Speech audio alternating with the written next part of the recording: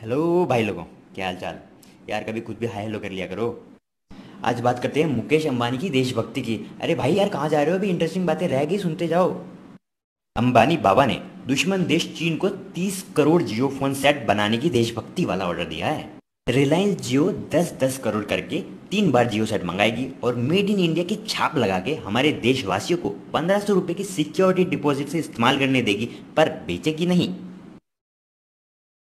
जब बिक्री नहीं तो 28 परसेंट जीएसटी भी नहीं। मतलब 10 करोड़ की एक खेप में।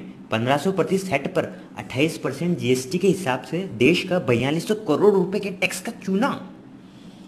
कुल मिलाकर 30 करोड़ हैंडसेट पर एक लाख छब्बीस हज़ार करोड़ रुपए की सीधी चोट सरकार पर। अब हाई लेवल की बातें हमारे भारतीयों को समझ नहीं आती। बेचारे भोले हैं ना। अब लग जाएँगे जियो फ़ोन खरीदने लाइन में। नोटबंदी के टाइम लाइन में बेचारे बहुत से लोगों की मौत हो गई थी। अब देखते हैं भगवान को प्यारे कितने होते हैं। दूसरी बात, जियो सिक्योरिटी डिपॉजिट के 1500 तो तीन साल के अंदर वापस लौटा देगी, पर अपना फ़ोन वापस नहीं लेगी। कभी सोचा है क्यों? क्योंकि कंपनी 10 करोड़ फोनों की परचेजिंग अकाउंट्स में नहीं दिखाएगी, ना ही इनको ट्रेडिंग स्टॉक में लेगी, बल्कि 15 लाख करोड़ का खर्चा अकाउंट्स में दिखाएगी प्रमोशन के नाम पे।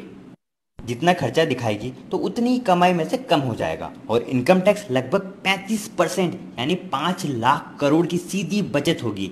दूसरे शब्दों में, भारत को पाँच लाख करोड़ का सीधा फटका।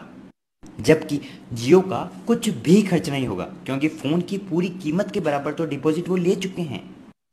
इसे कहते हैं मास्टर स्टॉक एक तीर से तीन शिकार।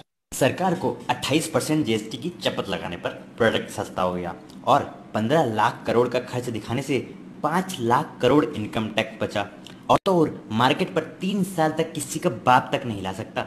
बाकी हर सरकार की यही अपील है हमारे देशवासियों से, चीन के बने झालर और पिचकारी का बहिष्कार करे और देशभक्त बने।